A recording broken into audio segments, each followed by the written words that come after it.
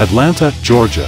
When asked about the choice of Atlanta United midfielder Thiago Almada in the roster for the World Cup in Qatar, Argentina manager Lionel Scaloni indicated that Almada has tremendous potential. Is Almada's call-up surprising? Scaloni is asked. He is a player with the caliber to be on the national team, so I'm not surprised, and I hope the rest of football can enjoy it. He is a young man with a bright future. Almada was a last-minute replacement who took Joaquin Correa's position on the World Cup squad.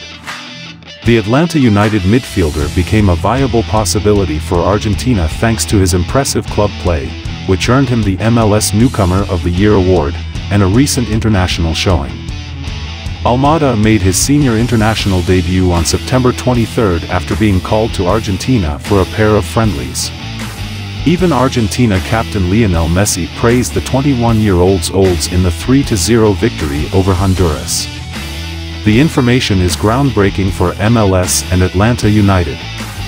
Almada is the first player still playing for Atlanta United to represent his nation at a World Cup. He also becomes the first player from the MLS to play for Argentina in the competition. In the competition, Argentina joins Group C, which also features Saudi Arabia, Mexico, and Poland. Press the like, subscribe and hit the notification button for more amazing soccer news inside or outside Atlanta. Thank you for watching.